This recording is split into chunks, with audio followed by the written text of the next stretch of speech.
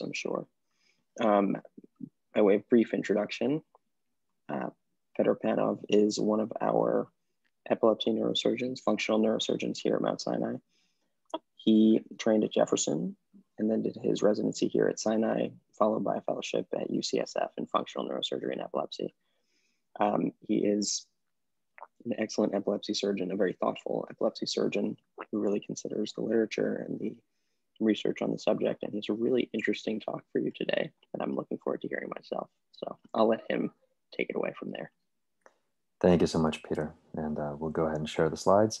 And we'll get going fast because there's a lot of slides. But again, I want to just restate, please, guys, interrupt anytime. And if you see that I'm on a roll and I can't see it, just feel free to speak up. Uh, this works very well if we're able to kind of go through this together. And believe me, I'm going to learn as much from you and your feedback on this talk as, uh, uh, as I do from any other time that we present this. So the title here is going to be minimally invasive neuromodulation, specifically with the intraoperative MRI system. What I wanted to focus on is sort of the new frontier of neurosurgery. It's been around now for about 14 years and how we can apply that into the future. But we most certainly are going to start with disclosures and uh, a brief outline. So we'll talk about the history. How have we gotten here in neuromodulation? We'll take a look at the current state and what it allows us to do. And then of course, the future directions, which is a really exciting part of this talk.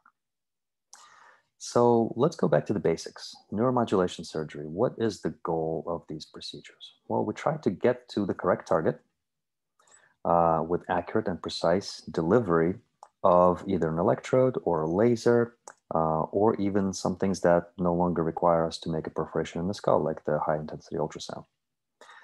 And what we want out of neuromodulation is appropriate clinical outcome while minimizing complications and side effects. So those are just the basic tenets of what we're going for. Um, this one is wonderful um, as, a, as a way to break the ice during these talks.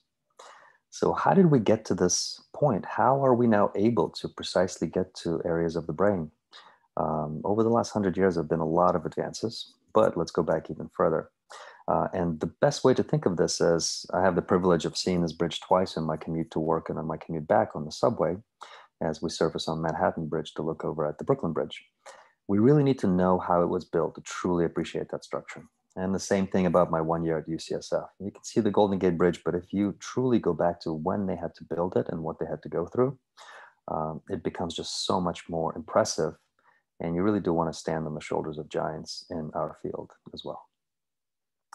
So let's go back before the current era, uh, back to the Edwin Smith papyrus and the first example of the written word brain. This was in the case of traumatic brain injury in somebody with aphasia, case number 20 from the papyrus itself. And unfortunately, treatments were not as well developed at the time. This was comfort care only. I believe with uh, alligator dung and some of the other things we would probably not consider standard of care. Here's what the Smith papyrus looked like. Uh, and this is a great image to carry with you. That is one of the first uh, writings of the human brain as a term. You can see it kind of makes sense, right? You have a head here, maybe a couple of scalpels. I'm sure the bird's not good news either. Now the BCAD interchange, so we're jumping about 1700 years into the future, um, was tough, but we were making some advancements. Torpedo Nobiliana was one of the first neuromodulation devices able to deliver about 220 volts or so per contact. Uh, Scribonius Largus used it at this BCAD interchange to treat gout and headaches. And then a thousand years later, there's writings that Ibn Sina or Avicenna used it as well to treat depression. What is this thing? Well, it's uh, an electric eel and it's uh, common around the Mediterranean. And you can see the technical difficulties of using this neuromodulation device, yet the first device that we had. So we had to work with what we had at the time. Uh, this is Ibn Sina, again active around 10th and 11th century, around Isfahan. And unfortunately, even with his studies, there was so much restriction on development in medicine because of uh, prohibitions to uh, cadaveric research. So for about a thousand years since the fall of the Roman Empire uh, through the end of the Dark Ages, there really was not a lot of advancement. Um, and if you guys want to, here's a pitch for a movie you should all watch, The Physician, starring Ben Kingsley as uh, Ibn.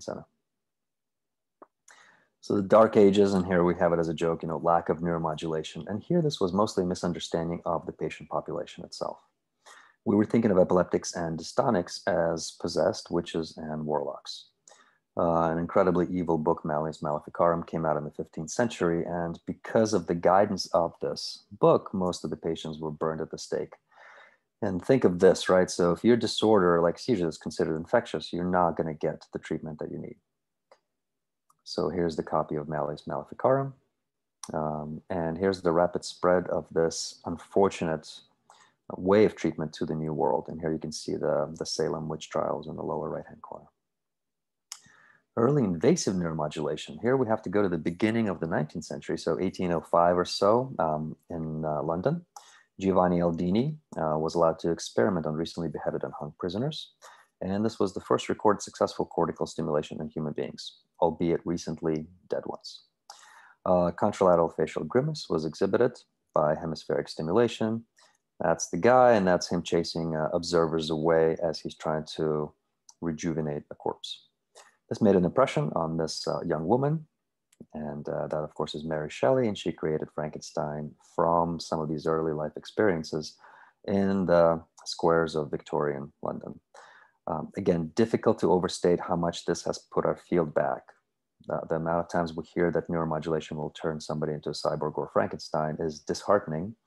And it's all of our jobs to try to fight that as much as we can by sharing the correct information and decreasing the anxiety of the patients.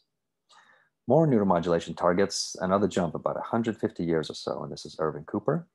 Uh, in 1952, he was doing a subtemporal approach, and he ended up injuring one of the vessels, the anterior choroidal. Uh, the disappearance of the tremor afterwards had no complications and no other side effects. So the tremor got better, the rigidity got better, hemiparesis was not an issue. So from that point on, they thought they were onto something and they started lesioning the areas where uh, they perceived the anterior choroidal uh, artery was supplying. Uh, they lesioned with alcohol um, and eventually spread this over to globus pallidus interna and the thalamus. Cryosurgery was also tried, creating a reversible lesion during the wake surgery. And here's an outline for you guys just to show where the anterior choroidal will be uh, and where he caused that injury. In parallel, we're starting to receive some of these advances in epilepsy surgery around, again, the 1950s. Stereo EEG, then the creation of the Talairach grid around the same time in France, the basis of the ACPC coordinates, which is how we still describe a lot about the human brain. And of course, then resective surgeries leading over to potential diagnostic minimally invasive surgeries like you have here, and that would be the stereo EEG itself. Here's a great image of the Talairach grid being used initially for a stereo. You can see these leads go in orthogonally and get plugged in. Uh, and we have most certainly have made developments since then. Here's one of the bases of the way surgeries were done, and this is a ventriculography, a horrifically painful procedure where they had to do a lumbar puncture and then inject air and spin you around in a chair that was tied to a wall. Um, and if you ever have a patient who has intracranial error, you know they have a headache. So here you're on purpose displacing the CSF with air to be able to see it on an X-ray. Um, and the level of pain from this was tremendous. And here you can see um, a DBS lead advancing to target based on the ACPC coordinates and why do we use ACPC coordinates? Because you could see them on a lateral X-ray with a ventriculography. Indirect targeting uh, really grew out of some of these other methods before we had good imaging. And this is utilization of a tiny little electrode that is able to sense uh, single units, so single neurons firing, to map the activity of the deep brain structures and then try to map those recordings to the known sounds of the brain to try to tell you where you are. This indirect targeting was done for decades using this atlas. Um, and then, of course, we slowly came up with the idea that we would need um, awake surgeries, we would need multiple passes to get this done because the patients could not be asleep. To get the true recordings of the brain, you need them to be awake and you needed to map out the territory, which means one track by itself was not enough. You had to do multiple. We talked about the Talairach grid and again, the inference of other structures via X-rays. And this was really only valid for structures that are close enough to the ACPC and that are fairly resistant to potential uh, changes in their location uh, based on, for example, intracranial air or growth of lesions. So here's a good image of just how tiny the microelectrode actually is, right? If you're talking about up here, this is one millimeter, and here you're down to 25 micrometers. In comparison, you see here the guide tubes and you see the current macro electrodes that we do place that are somewhere between one and two millimeters in diameter usually. And here is a description of the different sounds that you would hear from the central nervous system as you advance here towards your target. And in this case, you can verify the position at the GPI by advancing a little bit further over to the optic tract. This is early 3D targeting. So they would take two shots of an X-ray lateral uh, during a cerebral angiogram, and they would offset it by six degrees. And then they would have you wear these special glasses right down here, which would allow you to recreate the sense of three-dimensionality uh, by basically a visual illusion. And that allowed them to say, well, this area right here, and I'm sorry if you guys can't see my, my mark, it's, um, but just look at the areas where the vessels are not as dense. That would be the location where you would place your stereo EEG lead and consider that a safe passageway. We certainly have gotten better and uh, the morbidity and mortality of these procedures continues to improve. And now we jump to neuromodulation. Uh, some of my mentors who were starting their fellowships in the early to mid 1990s showed up and they were told, no, we're no longer going to lesion. We're going to actually neuromodulate. We're going to place an electrode there with contacts that are able to reversibly create a lesion. And then whenever the electricity stops flowing, that lesion should dissipate. And the giants in the field here are definitely Benabid and DeLong. And most of their work was done down at Emory. Here you can see the beginning of not just contacts, but contacts that can potentially steer the current, allow us to influence to the left more than to the right, which is incredibly important in DBS where you're surrounded by structures that can cause complications and side effects to the patient if they're stimulated. This allows us to drive the current away from those structures and towards the beneficial area. And here's an example of how that current can be steered. And of course, we're always remembering we're following in the footsteps of truly the cardiac industry. The first cardiac pacemakers uh, were created around the 1940s, 1950s. And the best reason that I can explain to you why our neuromodulators look the way they do is this. At the time, a shoe polish can was easy to be mass produced. So the early cardiac uh, implants used this as the case. So now we still kind of use things that look like this. So again, patient comfort was not part of the design and we have to keep on fighting to try to get that better. So the current state, we have several different types of deep brain stimulation. And right now we have one type of responsive neuromodulation with things continuously entering the market that are trying to improve on this. We have the classic Medtronic device, we have Boston Scientific, and we have Abbott. And for responsive neuromodulation, mostly for epilepsy, we have responsive neuromodulation, RNS NeuroPace. And now let's jump to direct targeting, right? So now that we know more about the brain, now that we have MRI advances and functional imaging and infusion, improved fusion, can we really let some of these things go by the wayside that may not be necessary anymore? And this is where we're talking about direct targeting, being able to visualize your target on a specific MRI sequence and guiding your lead or laser or treatment directly to it. Well, here's an example of a really good MP-RAGE sequence that allows you to see inside of the thalamus. And you can see if we're aiming for the central median nucleus, it becomes much easier to decipher it, whereas most of the other thalamic sequences uh, try to get this better. If you look at a regular T1, the entire thalamus is just a gray blur. Here you can see some more images of uh, segmentation of the thalamus itself to help us guide to these targets. And of course, we can use functional imaging to be able to correlate the connectivity from any spot that we want to stimulate to where in the brain it's most likely to affect the patient. Here's some more fusion algorithms that have gotten exceedingly well going between the MRI, the CAT scan, and the PET scan. Now, live direct targeting is the next step, and that's the intraoperative MRI that we're going to discuss today. So this would utilize patient-specific MRI sequences, no longer atlas-based, no longer microelectrode recording based, but truly visualizing the target itself and placing the lead and confirming that the lead is at target before closing up. The flexibility of this is tremendous. It allows you to adjust for intraoperative events. Let's say a lot of intracranial air sneaks in and you have shift, you can adjust for it. Uh, deviation of the instrument and the target, you can actually see your probe slowly advancing to the correct target. And if you see with three centimeters to go that you're bound to be projecting forward, you know, uh, eight millimeters to the side, you correct that deviation before you actually make that perforation. And of course, you do not need to rely on the fusion which means that this inherent additional error of fusing things together uh, is gone. So review, what have we done in recent modern neuromodulation over the past uh, 50 to 70 years? So from the Talairach grid and ventriculography, going over through lesioning, directional leads, and then direct targeting. Again, going from the implantations in Hospital St. Anne in France for the first stereo EEG, and the ventriculographies over to this direct targeting that allows you know, Peter and I to ablate the mesial temporal lobe, and you can see the effect of that surgery uh, in the middle on top in that coronal T2 MRI. You can see the increased signal around the mesial temporal lobe on the left. Directional leads, and what we'll talk about for the next few minutes would be the direct targeting. And if you guys see a Mickey Mouse face here that's making a surprising O expression, then you will never forget where you need to target in the STN to get good results for a Parkinsonian patient. So here's from one of the uh, book chapters that we wrote together with uh, Phil Starr and Paul Larson over at UCSF. You can see the cerebral aqueduct is going to be the mouth of Mickey Mouse. The red nucleus is the eye, and then the eyebrow is the STN. Here's to bring that uh, fully home. So where did this live direct targeting or IMRI originate? Well, 2007 at UCSF, they tried out some of these techniques. And at the time, we had no idea what the infection rate was going to be or how this was going to go. This is um, an entirely in the MRI procedure. So of course, everything has to be MRI compatible.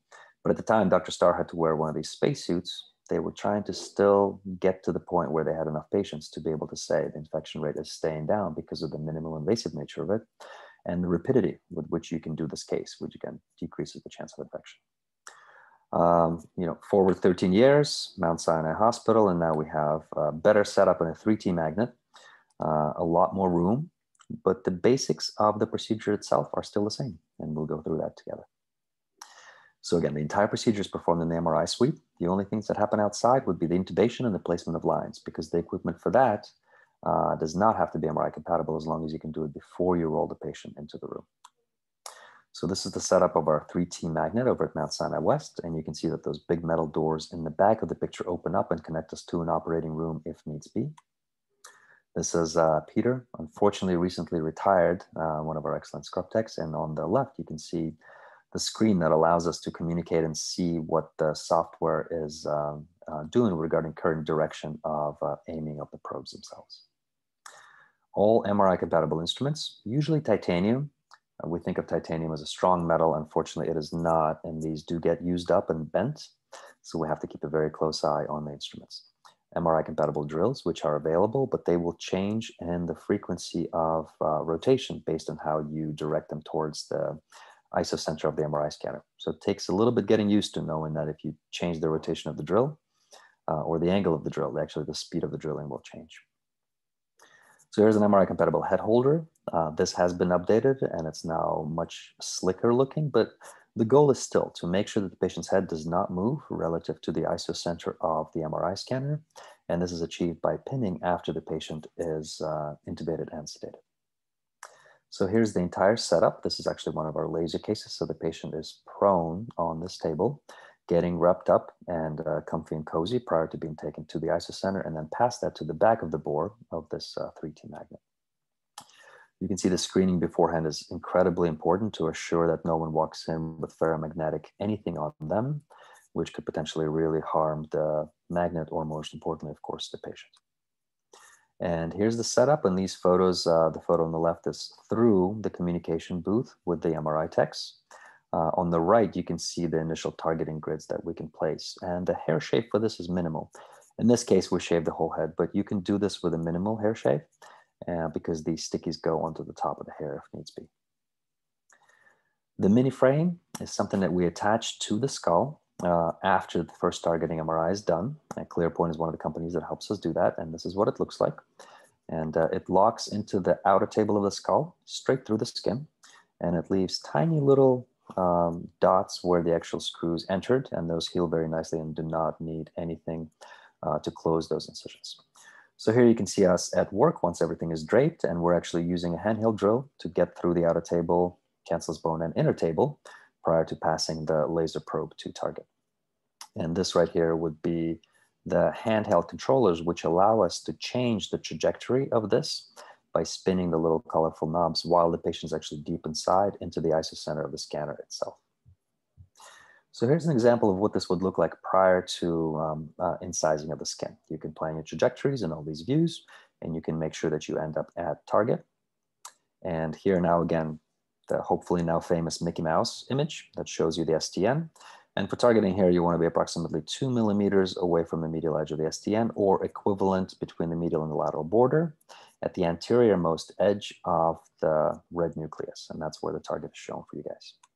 So on this next slide, you can see things have changed, right? So you can see that the skin has been opened bilaterally.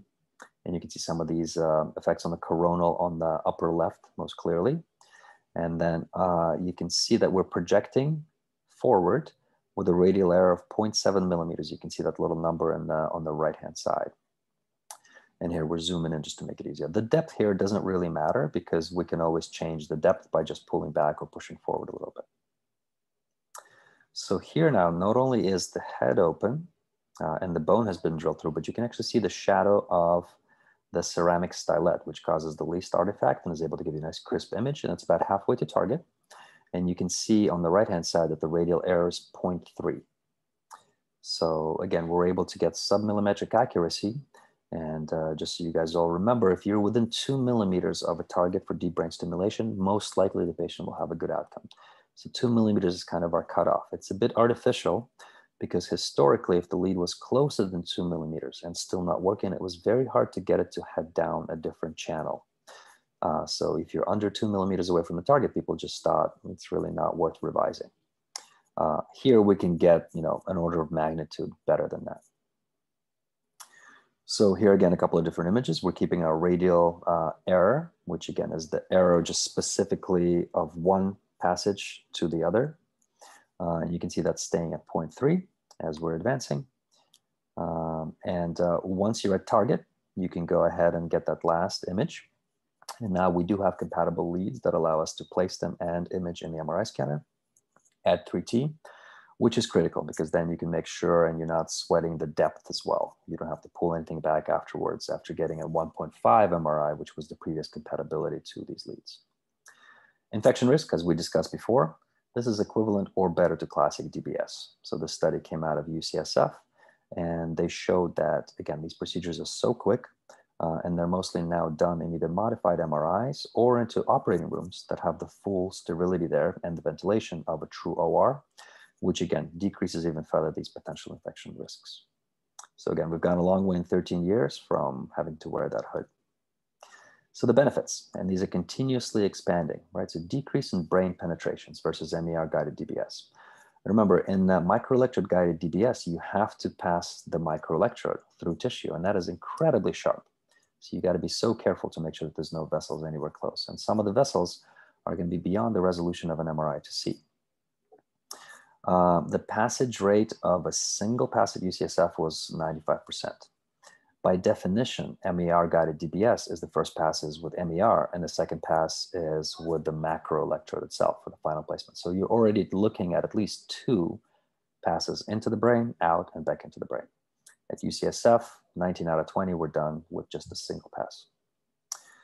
Target adjustment after brain shift is incredibly important. And of course, then the comfort general anesthesia to these patients. And they don't have to be without their Parkinsonian meds. That's another really important part.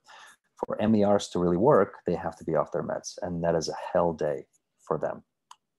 So here's an example of brain shift.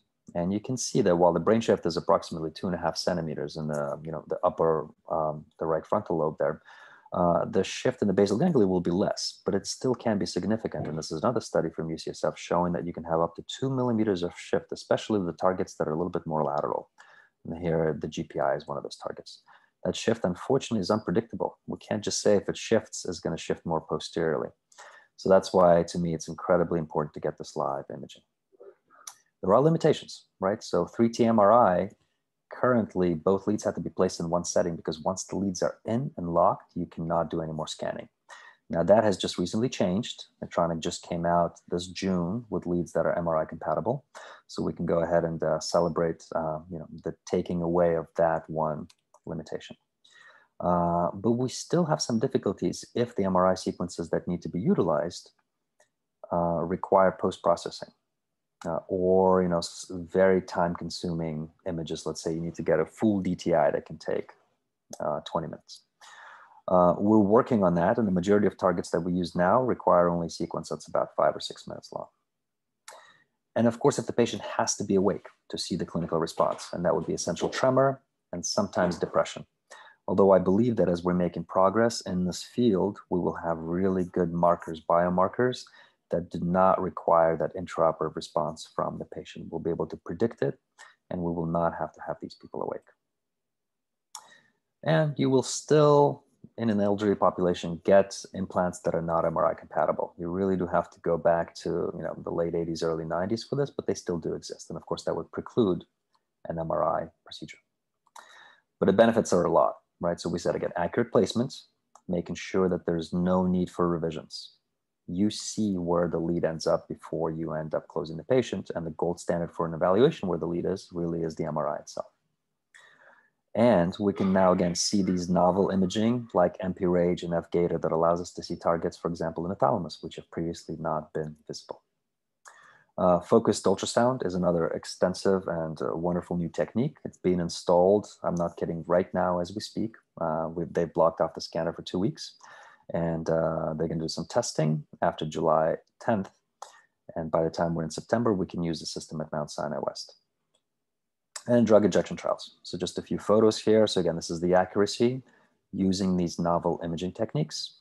This right here is the focused ultrasound, which without any incisions, but unfortunately for now with the complete shave of the head, because otherwise the ultrasound waves would get deflected, can treat lesions, broadly speaking, to within about two to three centimeters of the midline by sending a lot of ultrasound waves all the way from around and focusing all in one area uh, and causing an ablation in that area with uh, the ultrasound energy itself.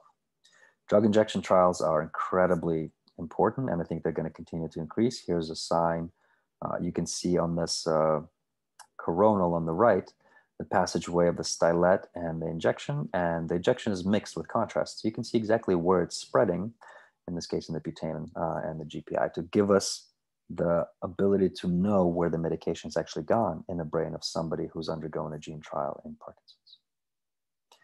Um, and now switching over to epilepsy, you know, we now have seven Tesla that we do at our center pretty much as a standard to be able to really figure out where potentially their epilepsy can live, even if it's side of the mesial temporal lobe. We can go ahead and segment these things so much better. So we'll, we're able to treat more and more patients with minimally invasive approaches. Here's our ROSA robot system. Uh, here's the minimally invasive stereo EEG. Here's as small as a craniotomy can possibly be in these kind of cases, as long as you did your homework and uh, you really did narrow it down to that specific area with a minimally invasive procedure. Here's another option, minimally invasive RNS implant. Here's a resection of the S2 area in someone's left parietal lobe. You can see how small the opening can be and has to be. And if you can see this little mark right here, where um, on the on the patient's right side, but our left side of the screen, right where the lead is sneaking in under the dura to give us some uh, motor strip information. That's the stigmata of the stereo G lead itself going in, that little mark on the cortex. And here's how small the craniotomies can be if they are appropriately designed in a worked up patient.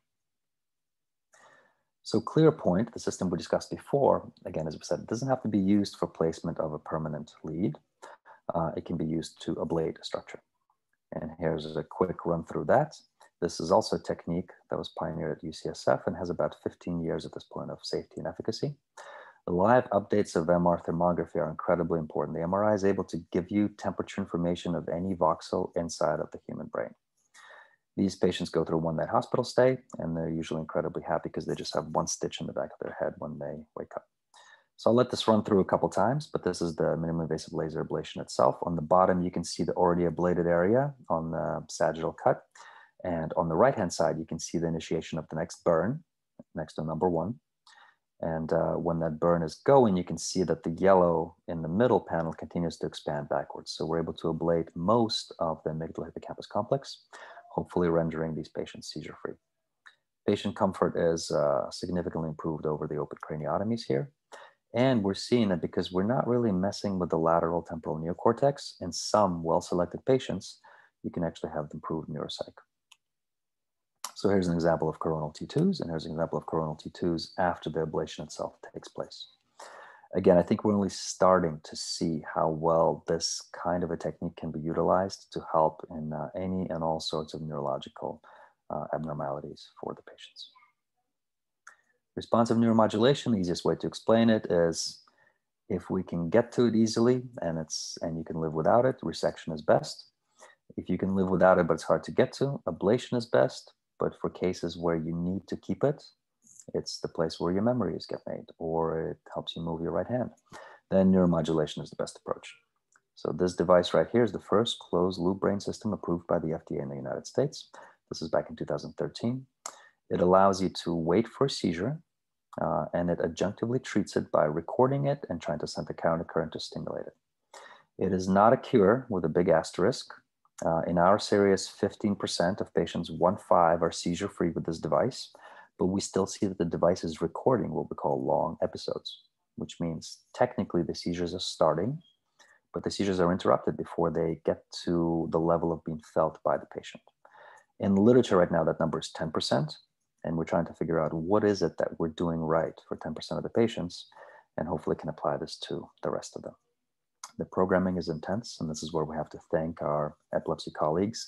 They do the brunt of the work of figuring out what will actually help these patients, and the degrees of freedom are immense. This is no longer DBS, where you have a couple leads and just sort of turn it on. You really have exquisite freedom, and in a way, that's a challenge. Sinai last updated, we were again tied with Stanford for first place in the United States. And it's the only place where this is available. So I guess we can say in the world, probably somewhere around 115 implants completed uh, as of now. And unfortunately, guys, I don't think this wonderful video is going to work. So I'm going to have to go forward, but I will send it to the group through Peter and Alyssa and the rest of the team. Uh, this is one of the ways that we could explain to a patient what happens. And this is a, a, skull rendering of a specific patient's 3D CT.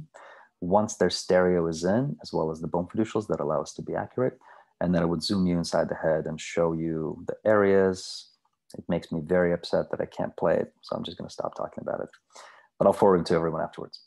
Uh, and here's how the RNS implant works. Uh, so initially, their amplifiers were not strong enough, so they had to actually not place it subclavicular as we do standardly with DBS, but uh, place it into the skull itself and lock it in.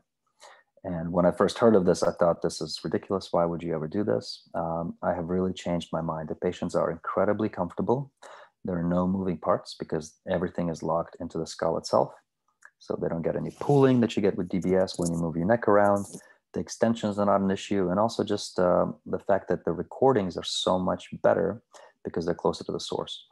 Whereas when we're trying some of these recordings and uh, the device itself is subclavicular, sometimes it's too close to the heart and you get some interference. So here's an example of after the lead is placed with the burr hole cover, we do a full thickness craniotomy for these patients to be able to implant the ferrule, which holds the device, and then place the device in place and close it up. This is chronic neuromodulation, and it shows continuous improvements. And this again is kind of the holy grail of neurosciences is this uh, utilization of brain plasticity. We truly see that it stops seizures with a certain level of efficacy but we also see that less and less seizures actually come about so there's a level of the brain saying aha i finally have some help and i'm able to take care of the seizures better so year after year they're having more and more improvement in their symptoms the seizure-free intervals, uh, again, by these large trials right now, about 30% have more than six months of seizure freedom. Uh, patients, you know, 15, 16% have a year of seizure freedom. And 25% uh, have seizure reduction of over 90%, which we call super responders. As we stated before, the goal is to figure out what are we doing right with those folks and try to apply it to the rest. And as we said before, 15% in our series are seizure free.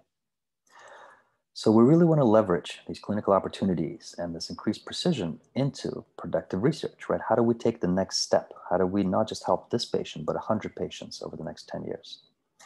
Well, we're working on seizure prediction algorithms for deep convoluted network analysis of stereo data. This is a fascinating project together with RPI. Uh, the institute is just a couple hours north of us and some exciting data coming out that we're hoping going to be able to share with you guys soon. But seizure predictions, that's another holy grail how do we tell a patient that within the next 10 minutes they really need to get to a place where they're safe because they may fall down having a seizure? I mean, that would be life changing for them. Quality of life outcome optimization uh, with specifically working together, right? Not just neurosurgery in their silo, neurology in their silo, radiology, psychiatry, but working together, finding out what makes the life of a patient better, and then working together as a team to get there. And I'm going to spend the last few minutes on uh, my new pet project that I'm pushing for everyone is uh, elucidation of meditation circuitry using intracranial recordings and how we can build on that to get people to become better meditators and you can kind of say equivalently just better human beings. Number one, meditation works. I didn't really know this before I started researching some of this, but for the past 6,000 years, uh, we have been fairly convinced of this, and now there's evidence-based medicine to prove that it works. Uh, overwhelming evidence, well-being can be learned, right? So start thinking of this as a skill. Just like some of us go to the gym or run or do crossword puzzles, the same can happen with meditation, which means we can be trained and we can continue to improve. And the baseline characteristics of every specific patient or resident and med student who needs a relief from stress are going to be different. But we can go ahead and moderate our strategies and we can go ahead and envision a future where meditation is specifically designed for your brain and that can lead to overall increase in well-being. And that's from Richard Davidson's work that was recently published. So what are the perceived benefits of meditation, especially if we're thinking of you guys and embarking on this incredibly challenging career and going through the interview season and junior residency and mid-level residency and chief years. There's a lot of anxiety provoking moments up ahead. Well, let's talk to the happiest person in the world. This is some of the descriptions of him, and that's Matthieu Ricard. So stress relief is big. You can most certainly have a time saving ability uh, meditation sometimes equates to a factor of that time sleeping. So 20 minutes of meditation can be the same as taking a good two hour nap. Increased ability to focus, incredibly important in our field, but also for our patients. Performance of difficult and dangerous tasks under significant pressure improves. Again, think of how this resonates to you know, our careers.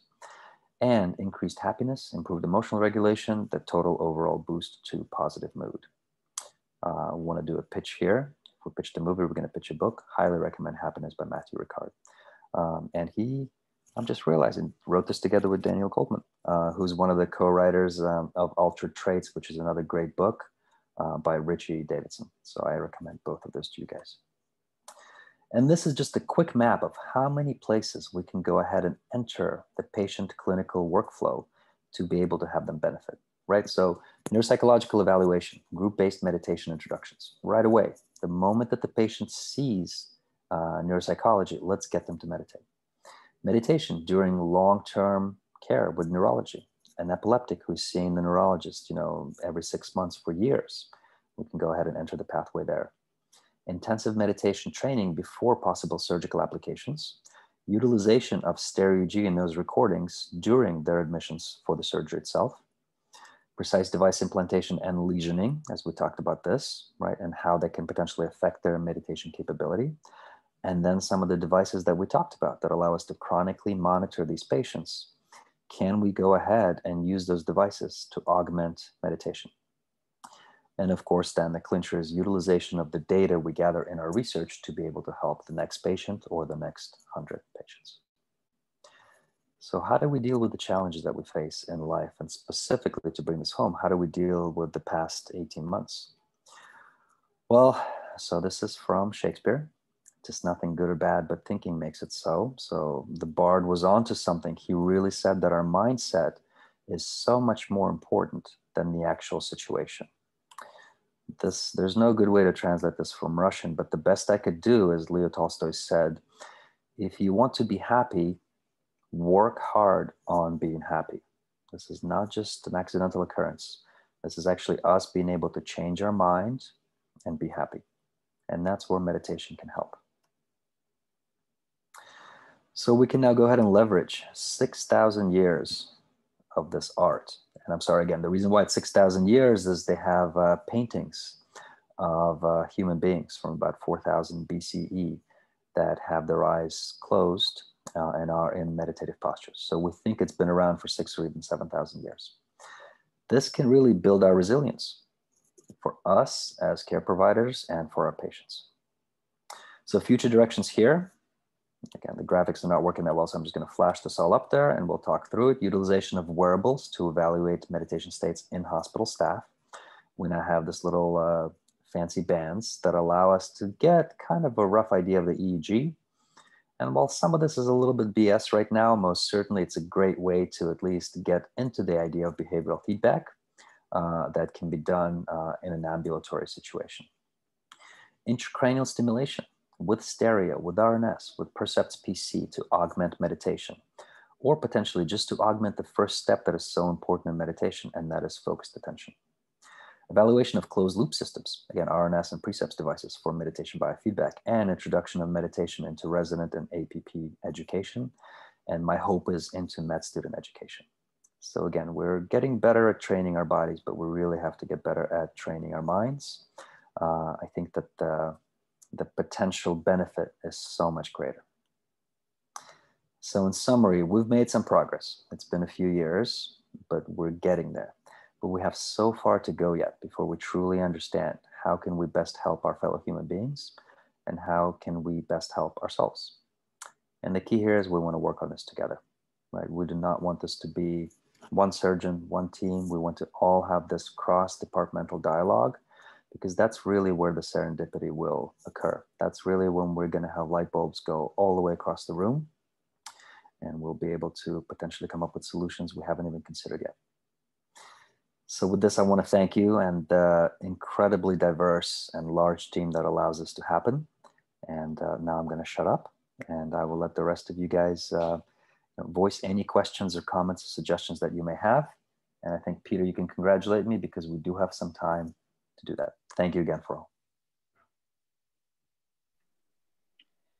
Well done, staying on time. any questions from the group? Yeah, thank you so much, Dr. Panov. So uh, I'm in India, and in India, uh, DBS leads have been extremely expensive. And so lesioning procedures continue to be uh, quite popular here. And while they have fallen out of favor in the US, what are your thoughts about that? And how do you see the field going forward, especially with regards to the evolution of global neurosurgery? Will we see these DBS leads getting cheaper significantly so that they can be used uh, much more? Absolutely. And again, remember, so it's just, it's really just, um, it's the fault of the system right now that these leads are not available, right? We know that the manufacturing costs of the leads are much cheaper. And we know that because once something is done with uh, a patent portion, we can get them for free. And a clear example is, you know, generic drugs that are finally out of that 20, 20 year window. But it's up to us to continue to push this, right? To gather leads that are, let's say, close to expired just by the US standards, but we know that they're made of metals that are not going to change, which means that you know, if something is expiring, let's use that over the next uh, five, ten years and let's test them and make sure that they still work, but increase the outreach to other places. I think the world is becoming too small. These artificial divides are not going to last that long. We realize, you know, with this pandemic, how connected we truly are. Uh, so I wouldn't say that lesioning procedures are going to always have to be there my goal with neurosurgery, and Peter may laugh at me, is to not do neurosurgery in the future. You know, to me, this is just a stepping stone to something that is going to be even more special, and that is neuromodulation, and that is potentially neuromodulation without incisions. We're going to be reverse engineering from stimulation in a tiny area inside the brain with the contact just there to a much more broader field effect to eventually just uh, you know a fancy high density EEG net on top of someone's head akin to some of the TMS studies that we have right now. So I think the future is bright, and I think that we're going to get past this unfortunate issue right now where things are just too expensive in a lot of um, the other parts of the world. Thank you so much. And if it's okay, I have a question from Marina here. Uh, she's saying, thank you for the presentation. You mentioned the biomarkers that could be utilized in order to eliminate the need for awake DBS. Do you refer to beta band oscillations and the evoke resonant neural activity? So yes, the ability for us to, let's say, eradicate the beta band has just been so critical and central to our ability to help Parkinsonian patients. And the amazing thing about something like beta band is it seems to be true and consistent across several what we call circuit circuit pathologies, uh, which means that anytime you have a, a brain disease, that relies on circuits to work. At some point, we run into a beta band. And the way that I describe it to myself, because I don't have enough brain power to do otherwise, is think of a stadium that is all chanting the same thing or is doing the wave. It's impossible to do any other task. So if all of these uh, neurons are just kind of going up there and they're all singing together, but not in unison that allows these beautiful things like thoughts to happen, but in a bad pathological way. And to me, that's beta band. And we can break that up. We know that stimulation breaks up the beta band, uh, and that's why DBS patients feel better. So, absolutely. The one critical part that's difficult is we can only do so much inside of the MRI scanner. So, to me, right now, the biomarkers are really going to be, you know, one degree of magnitude removed still. I truly feel that once we know more about functional uh, DTI imaging, we can go ahead and use that patient specifically to design their perfect targets for DBS or lasering or RNS.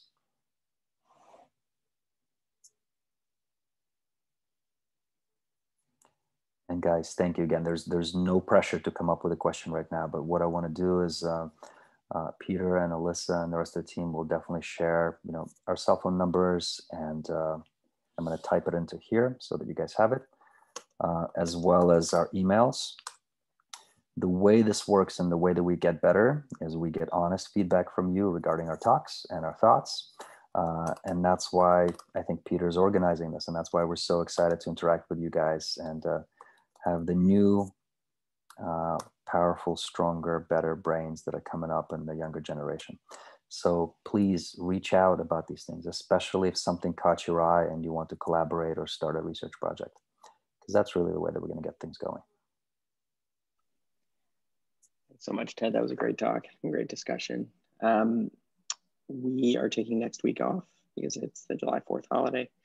But in two weeks, we have Dr. Hickman joining us to talk about neurotrauma. So looking forward to seeing you all then.